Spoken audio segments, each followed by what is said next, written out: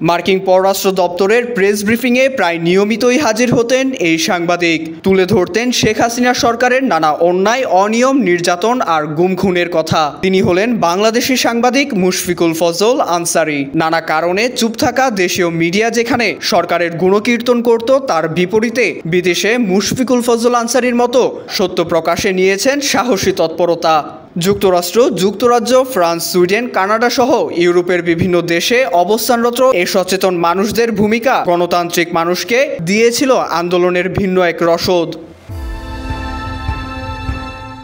দৈনিক ইত্তেফাক ইউএনবি সহ বিভিন্ন সংবাদ মাধ্যমে কূটনৈতিক রিপোর্টার হিসেবে বেশ উজ্জ্বল মুখ ছিলেন মুশফিকুল ফজল আনসারি। তিনি দুই হাজার এক থেকে দুই হাজার ছয় মেয়াদে বাংলাদেশের সাবেক প্রধানমন্ত্রী খালেদা জিয়ার সহকারী প্রেস সচিব হিসেবে দায়িত্ব পালন করেছেন। এরপর জাস্ট নিউজ বিডির প্রধান সম্পাদক হিসেবে দায়িত্ব পালনকালীন সরকারের রোশানলে দেশ ছাড়েন এই সাংবাদিক।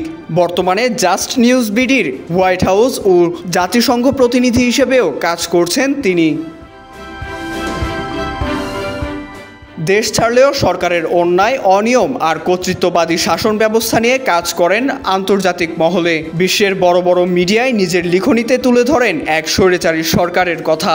জাতিসংঘের নিয়মিত প্রেস ব্রিফিংগুলোতে প্রশ্ন করে আন্তর্জাতিক ফোরামের সরকারকে প্রশ্নের মুখে ফেলতে গুরুত্বপূর্ণ ভূমিকা পালন করেন মুশফিকুল ফজল আনসারি।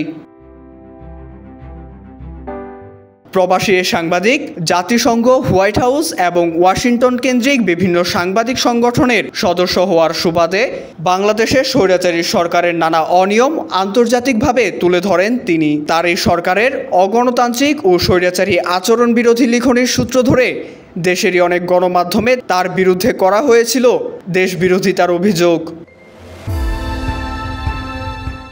দীর্ঘ দেড় দশকের ক্ষমতা ছেড়ে ভারতে পালাতে বাধ্য হন শেখ হাসিনা। অনেকে ধারণা করেন, আন্তর্জাতিক অঙ্গনে বাংলাদেশের আসল চেহারা তুলে ধরার পেছনে এই সাংবাদিকের ভূমিকা সবচেয়ে বেশি।